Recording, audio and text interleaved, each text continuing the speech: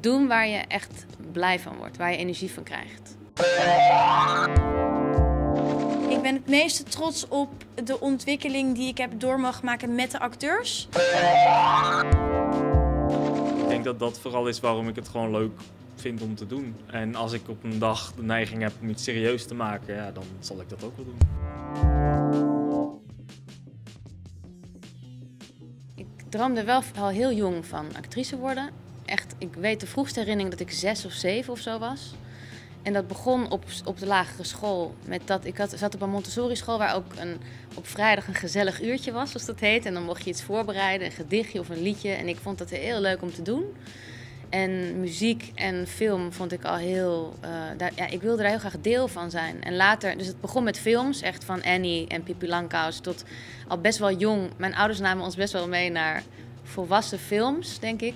Uh, vaak met een, een culturele of uh, andere inhoudelijke sociale content erin. Maar ik heb Out of Africa bijvoorbeeld gezien en daar was ik dan een, echt een week, was ik gewoon helemaal Karen Blixen voor mijn gevoel. Um, en toen vanaf mijn tiende, elfde ging ik mee naar theater. En daar ja, verhevigde dat eigenlijk alleen maar een deel te willen zijn van dat verhalen vertellen.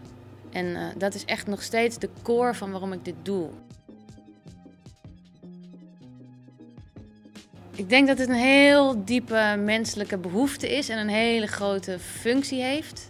Heel onbewust misschien voor mensen, ook met verhalen in hun familie of wat het betekent als je ineens een verhaal hoort van je grootouders of wat ineens voor jezelf iets betekent. En, en gewoon alle verhalen die we om, ook onbewust de hele dag, ook hele rotverhalen, uh, krijgen. Um, en ik geloof dat je dat, ja, dat verhalen.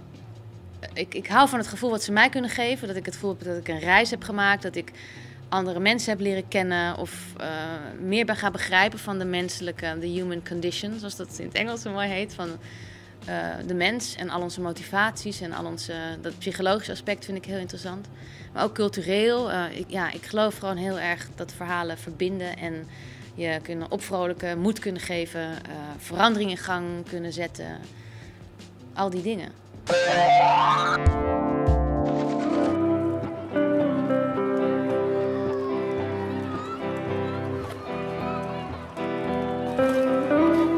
het begon met een thema op school. We kregen het thema familie. En toen dacht ik, oké, familie. Ik kom zelf uit een gezin met twee broertjes, waar ik heel intensief mee ben opgegroeid. En um, ik kan me herinneren uh, van vroeger dat ik vroeger wel eens uh, experimenteerde met zoenen met een vriendinnetje van mij op de zolderkamer. En toen dacht ik van, nou, dat is best een heel interessant ding. Want het was mijn beste vriendin, maar ik zag haar toch ook als familie. En uh, toen dacht ik van, nou, wat nou als dat dus ontstaat tussen mij en mijn broertjes of tussen mijn, mijn nichtjes. En toen ben ik gaan onderzoeken en toen ben ik heel veel gaan lezen en psychologie gaan, gaan ja, bestuderen en kijken wat er nou in zat.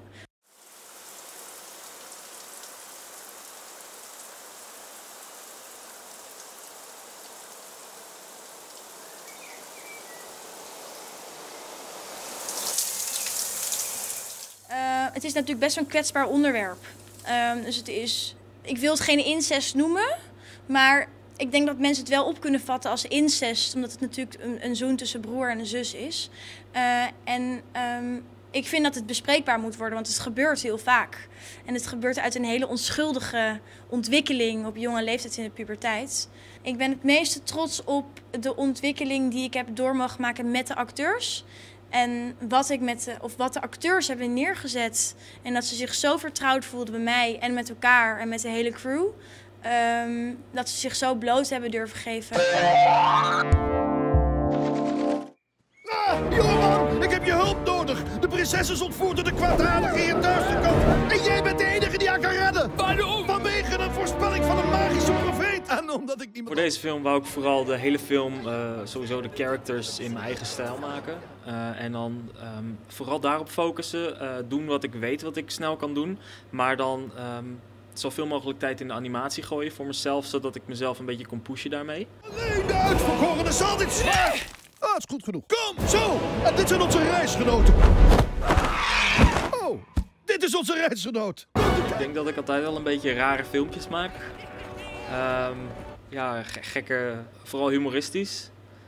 Uh, gewoon omdat ik dat zelf leuk vind om te kijken. En uh, ja, ik, ik, ik maak filmpjes die ik zelf ook zou willen zien. En uh, dat, dat, ik denk dat dat vooral is waarom ik het gewoon leuk vind om te doen. En als ik op een dag de neiging heb om iets serieus te maken, ja, dan zal ik dat ook wel doen.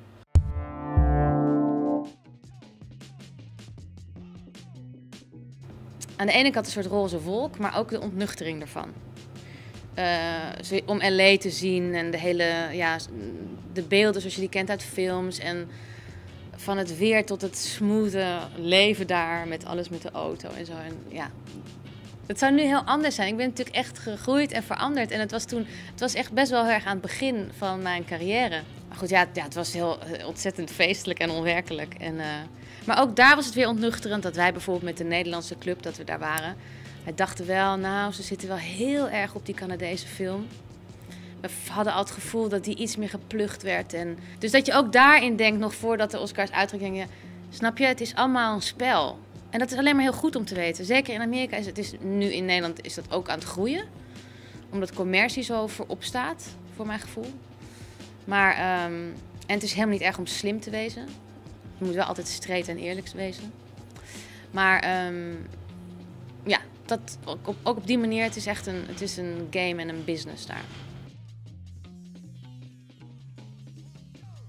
Follow your gut, wou ik toch echt als eerste zeggen. Ja, je intuïtie volgen. En doen waar je echt blij van wordt, waar je energie van krijgt. En zolang je, als je dat kan doen, als, zolang je dat kan doen als luxe, hè, dat je kan, soms moet je gewoon werken om ook geld te verdienen.